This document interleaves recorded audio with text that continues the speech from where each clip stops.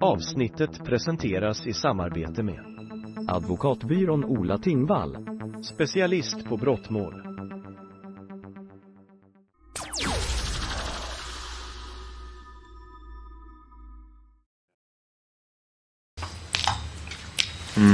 Kommer du ihåg den här körningen? Ja, det är ju 13 mars i år så det är inte så länge sedan. Eh, Ja, jag kommer ihåg den.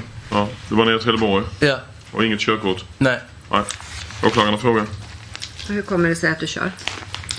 Eh, Vid tidpunkten brukar jag brukar inte köra bil så fast eh, vi skulle, eh, jag skulle hämta min vän i Trelleborg. Han har körkort så jag åkte dit så körde han hem. Och vems var bilen då? Eh, en väns. Crimecrime.se. Ja. Jag har inga fler frågor. Du sa en fråga. Det var inte den bilen du hade senare eller? Som du Nej. vet? Nej, nej. En annan bil. Det var en Opel. Ja. Bra, då vet vi det. Inget mer. Då är vi färdiga.